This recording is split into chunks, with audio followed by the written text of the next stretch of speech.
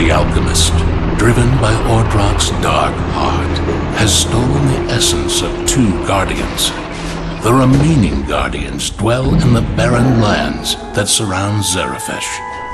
The alchemist will surely strike there next. You must confront the alchemist before another guardian falls.